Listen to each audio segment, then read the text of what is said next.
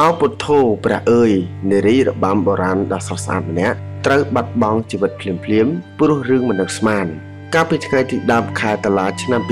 2020មានព័ត៌មានគួរឲ្យសង្ស័យមួយដែលមានហេតុការណ៍គ្រោះធម្មជាតិ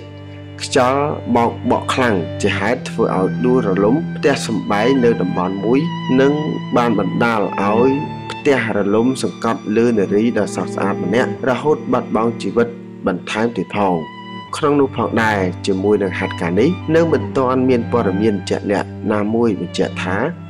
មានមនុស្សផ្សេងទៀតរងគ្រោះដែរឬក៏អត់ទេក៏ប៉ុន្តែបើយោងតាមប្រភពពីគណនី Facebook ដែលមានឈ្មោះថាច័ន្ទធឿនភ្លេងខ្មែរ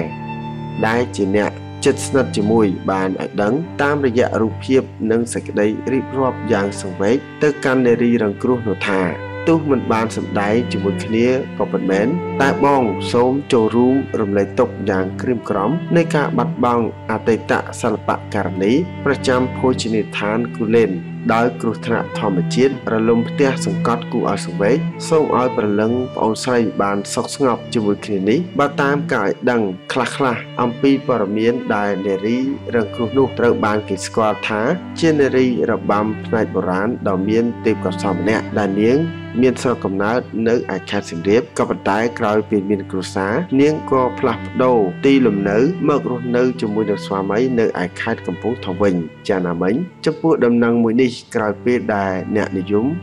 លេងបណ្ដាញសង្គមឃើញហើយពួកគេ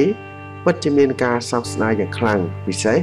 ក៏បានផ្ញើពាក្យចូលរួមរំលែកទុក្ខដល់ក្រុមគ្រួសារនៃសពជាហោហែផងដែរ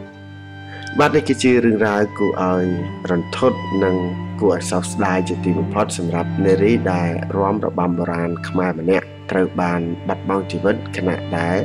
ខ្យល់បបោកដែលជាហេតុធ្វើឲ្យដួលរលំផ្ទះ សង្កត់ទៅលើនារីដ៏ស្រស់ស្អាតម្នាក់នេះរហូតបាត់បង់ជីវិតផងដែរបាទហើយខ្ញុំបាទក៏សូមចូលរួមរំលែកទុក្ខយ៉ាងក្រៀមក្រំចំពោះក្រុមគ្រួសារនៃសពផងដែរហើយក៏សូមឲ្យវិញ្ញាណក្ខន្ធរបស់បងស្រីបានទៅកើតនៅក្នុងឋានបរមសុខកុំបីឃ្លៀងឃ្លាតឡើយបាទហើយចំពោះអត្ថបទព័ត៌មាននេះខ្ញុំបាទសូមបញ្ចប់តែប៉ុណ្ណេះជួបគ្នានៅវីដេអូក្រោយៗទៀតសូមអរគុណសូមគោរពលា thank you